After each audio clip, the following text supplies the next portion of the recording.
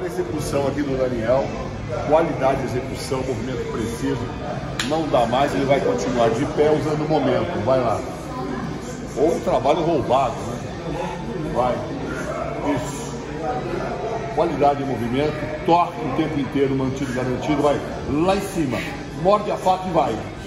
Outro. Um. De pé. Ali chegou a falha. Continua. Isso. Vai, Daniel. Vai. Não dá mais, curte rápida. Vai. Sólido. Dois. Um. Aí, show, show. Daniel, muito bem orientado pelo Paco, né? Pelo Rodrigo. Qual foi essa diferença crucial aqui? Movimento sólido, sentado, depois você levanta. Ah, sentado é muito mais difícil.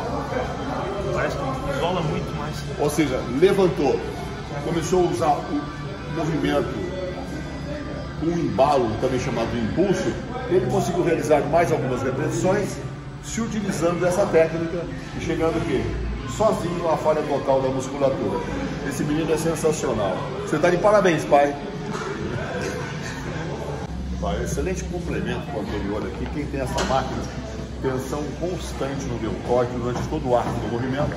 Você está girando em torno dessa charneira, charneira e a tensão, na verdade, vai ser dada pela seleção do peso e, obviamente, a tensão será sempre tangencial ao longo do arco do movimento, que é dado aqui, ó, por esta polia. Vai lá. Isso, agora atenção na polia, sempre tangencial. Vai, Daniel. Vai. Controle negativo. Acelera, controla. Acelera, controla. Aí, fechou unilateral. Vai. Controle negativa. Segura negativa. Segura negativa. Segura negativa. Que é o seguinte, você só fala uma vez e já. Vai lá. Isso. Segura negativa. Segura negativa. Segura negativa. Aí, sensacional. Quando ele passou a fazer o movimento unilateral, porque aqui tem um sistema de polia que divide T sobre 2, tá? Quando ele faz unilateral, o peso também é dividido por 2.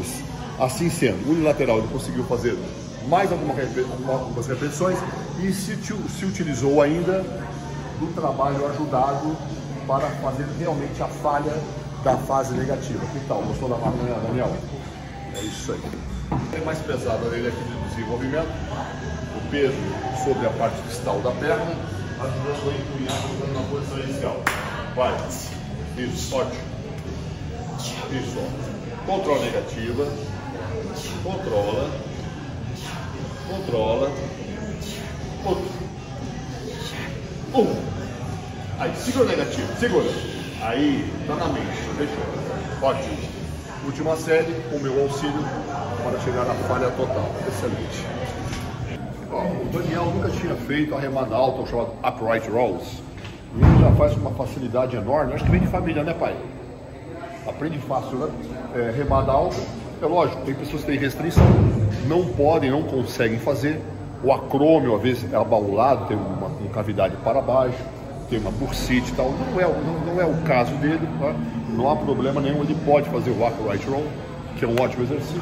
Trabalha bem no deltoide médio. Também um pouco de trapézio, né? Vai lá.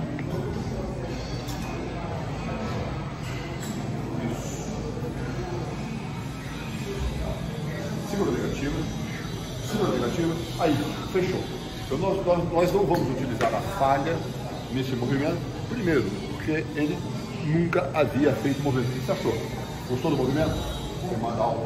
Bom, né? Dá para se fazer com a barra, no caso com a barra W, ou então com um par de dumbbells, melhor ainda.